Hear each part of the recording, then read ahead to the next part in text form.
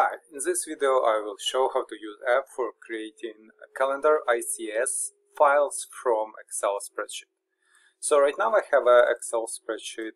First line is uh, like column names and event name, start date, end date, location name, and description. It contains all information about my events. It's called my events Excel file and this is Excel viewer, it's not Excel, this is why it's looking uh, differently.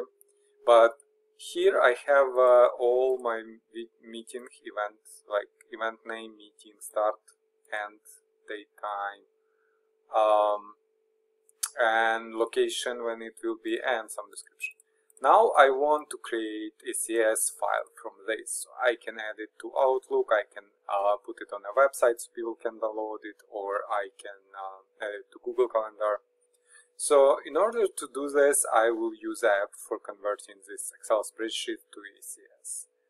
Um, so now I can close this. Uh, this is just my folder and so this is my website. I will leave link on this site into description. To find app, I will type spreadsheet and I need this one spreadsheet to ICS. I will click on it, click on download button to start downloading. To download archive with application inside.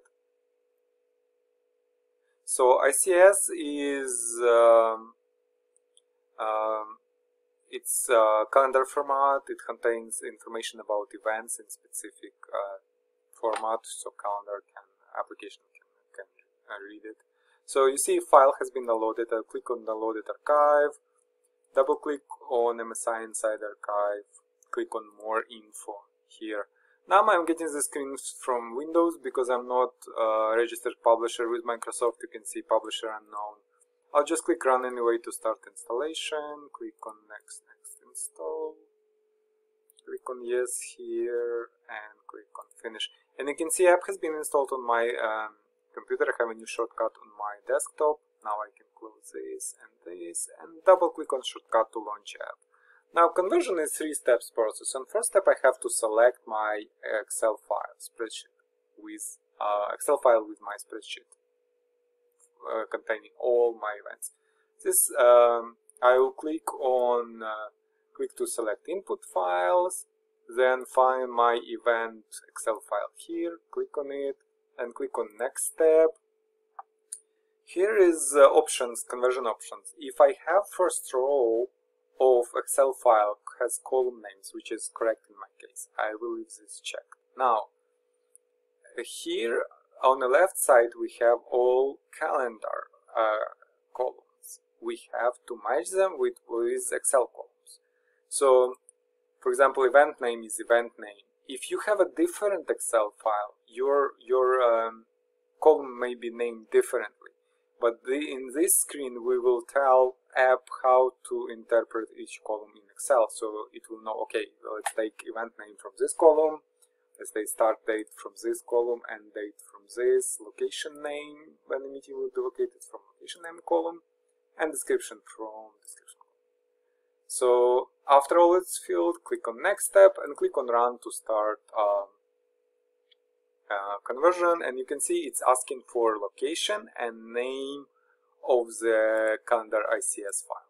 So this name and location is okay, I'll just click save it you see it has been saved now let's go and open it with uh, let's open it with calendar first. It's standard windows calendar. It will show me all meetings from uh, from my excel. And you can see i can uh, add them to outlook add to calendar and it, it will be added to outlook. Also i have um, ICS Viewer, it's a free app, it's showing what is quickly showing what is inside of ICS file, so I can quickly make sure that uh, all everything is converted properly, and uh, 4, 5, 6, 7, 9, everything is converted, and also I can export it to different format if I want to, uh, just like a quick quick app to export uh, ICS file into different. I, I will leave link on this app too. So yeah, basically that's it. We have um, we have our um, let's open it again. We have our Excel data transformed into uh, let's open it with Windows Calendar.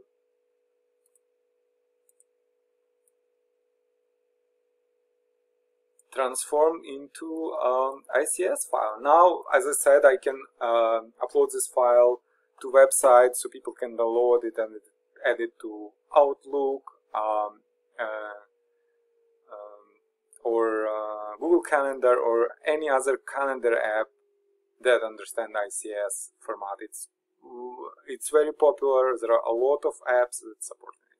So yeah, that's it. If you have any questions, please leave them in comments below. Thank you.